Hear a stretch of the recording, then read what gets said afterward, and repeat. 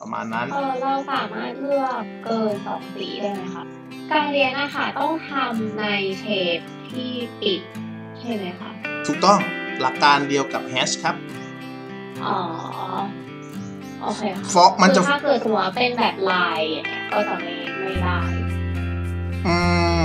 ลายได้แต่ต้องเป็นลายแบบปิด อ๋อหมายถึงถ้าลายเชื่อมกันปิดก็ถูจะกต้อง สามารถเรียนหรือว่าแฮกได้ ใช่ครับ อ่าลองเทสนะครับ คราวนี้ลองเทสอีกทีนึง ตอนนี้เฟรมหตัวมายนี้ถึงว่าถ้าเรากดอันเนี้ยจะเป็นทุกทุกตัวเลยใช่ไหมคะ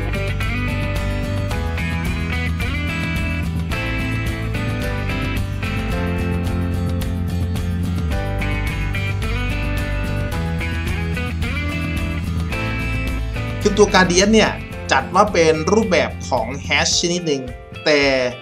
เน้นลักษณะของการผสมสี ไล่เฉดสีนะ ผสมสีแล้วก็ไล่เฉดสี เราดูแบบนี้นะครับ ตัวนี้เองเนี่ย ตรงเนี้ยเราจะเห็นหัวข้อของแฮชอยู่ตรงนี้นะครับนี่คือแฮชจริงๆ จะเห็นเป็นแฮชอยู่ตรงนี้ค่ะเห็นไหมครับ ถ้าเรามาที่หัวข้อนี้ จะเห็นคำว่า gradient ค่ะอ่านะครับคีย์ลัดอ่าลองพิมพ์ดูก่อนนะครับอะเดี๋ยวแป๊บนึงผมให้ดูแบบนี้ อ่า อันนี้คือ ส่วนใหญ่จะนิยมเอาไปใช้กับการใส่สัญลักษณ์แทนน้ำหรือกระจกนะครับหรือเขียนผอบอกปลาคาบหรืองานเอา outdoor อะไรประมาณนี้นะครับ ลองดูนะครับ อันนี้คือ Guardian ลองพิมพ์ G D นะครับ GD อาจจะเห็นสัญลักษณ์ Guardian นะครับ Enter หนึ่งครั้งครับ โอเค เราจะเห็นฟังก์ชันโผล่ขึ้นมาเป็นแบบนี้นะครับ ซึ่งฟังก์ชันตัวนี้จะมีเฉพาะใน จะมีเฉพาะจะเรียกว่ามีเฉพาะในใน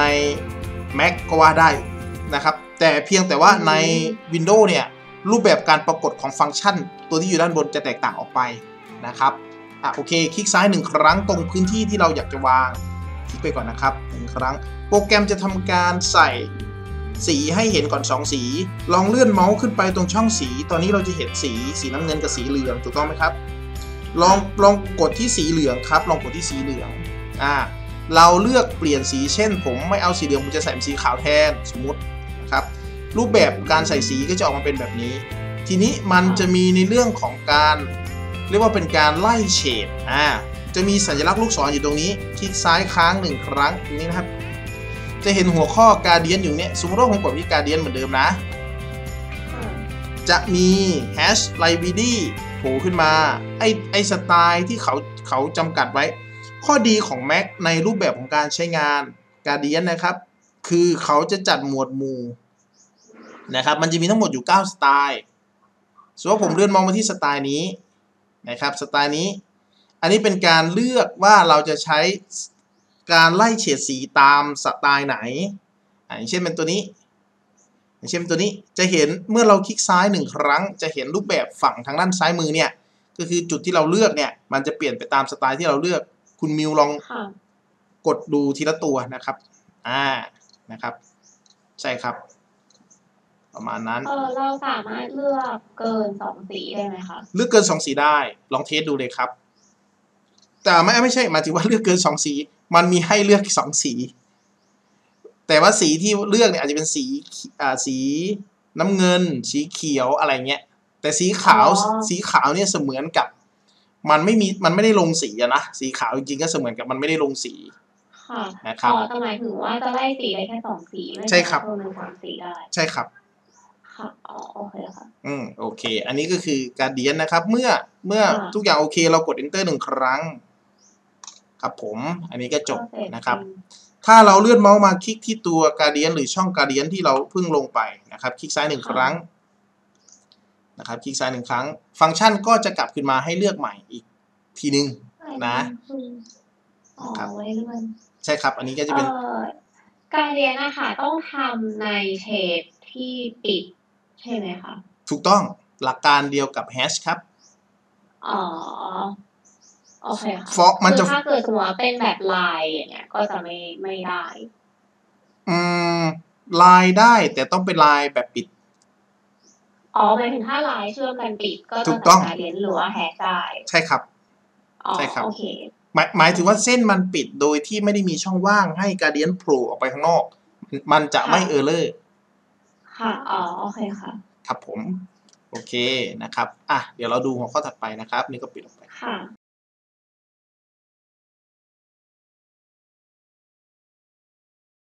boundary นะครับ อันนี้เป็นฟังก์ชันที่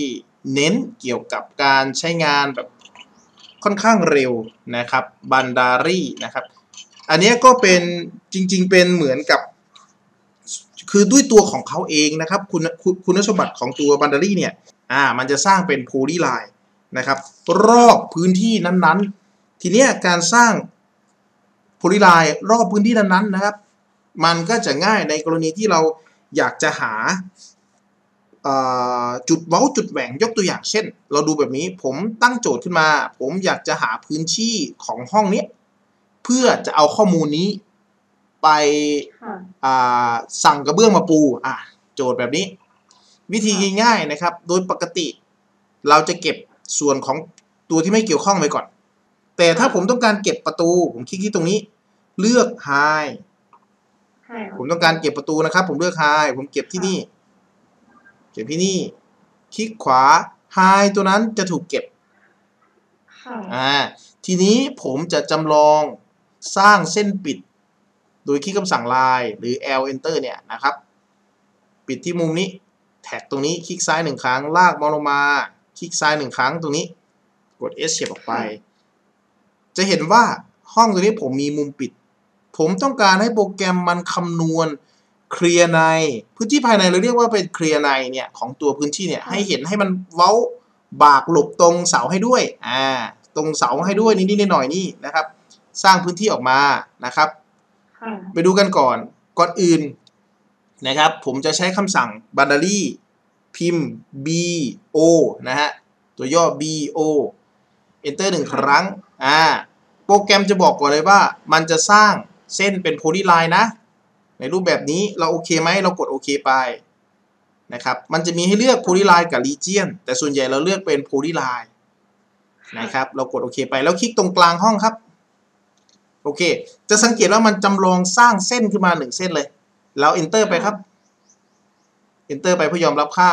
เราลองเลื่อนเมาส์ไปตรงเส้นที่ถูกสร้างขึ้นมาใหม่ หรือ หรือตรงขอบของเส้นที่ถูกสร้างขึ้นมาใหม่เห็นไหมครับ แล้วเราคลิกไปที่เส้น นี่นะครับ เมื่อเราคลิกไปที่เส้นเสร็จปุ๊บ จะเห็นว่ารูปแบบมันจะออกมาเป็นแบบนี้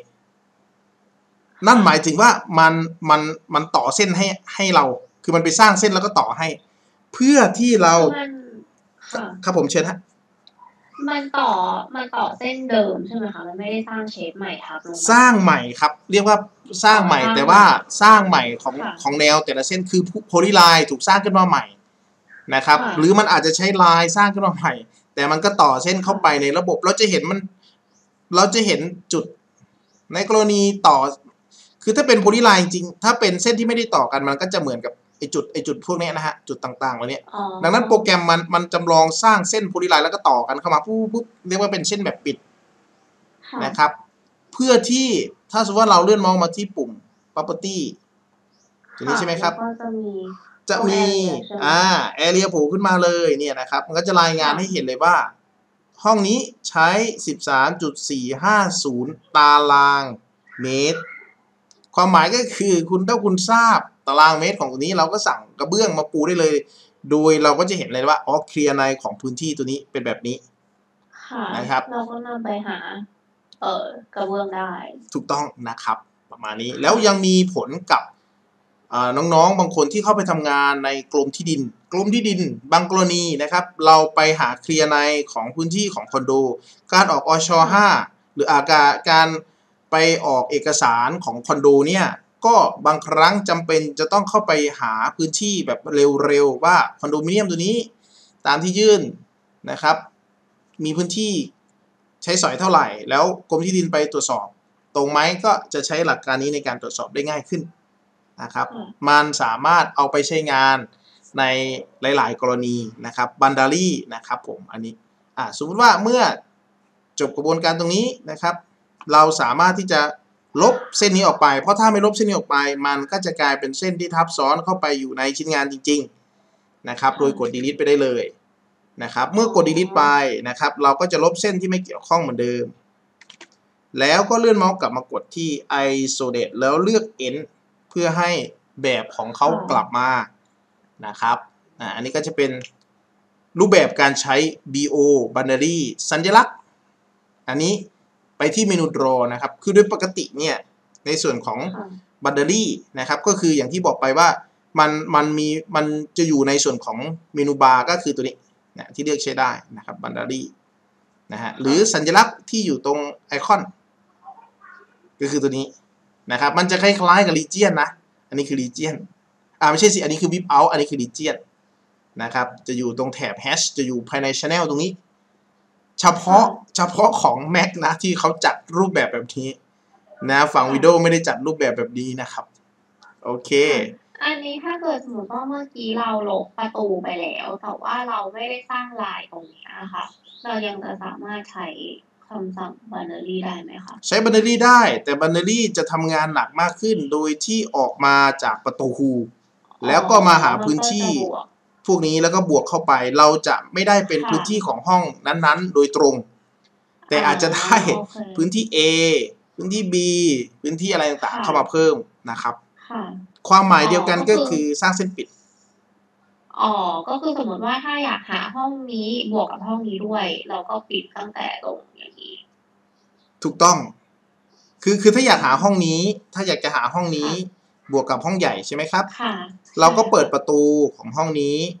นะครับค่ะเราก็สร้างมุมปิดของห้องอื่นปิๆดแค่นั้นเองค่ะนะครับ โปรแกรมก็จะทำการหาค่ะห้องนี้ให้ อย่าลืมว่าโอเคความหมายของเคลียร์ในคือเราต้องการพื้นที่เคลียร์ในของห้องจริง ๆ จุดไหนที่ไม่เกี่ยวข้องอาจจะปิดไปได้ก่อนนะครับ อย่าลืมเช็คโอค่ะโดยปกติการใช้บันนารีเข้ามามันจะการันตีว่าเส้นที่คุณวางเป็นเส้นแบบปิดค่ะในทิศทางหรือในความหมายเดียวกันกับคำสั่ง hash หรือ guardian ถ้าลองใช้ hash แล้วมันขึ้น error ก็แสดงว่ารอยมันมีรอยต่อระหว่างชิ้นงานนั้น เราอาจจะเลือกใช้ เราอาจจะเลือกใช้บันดารีเข้าไปสร้างเส้นรอบให้ก่อน นะครับ สร้างเส้นรอบให้ก่อนนะครับ ประมาณนี้เนาะค่ะโอเค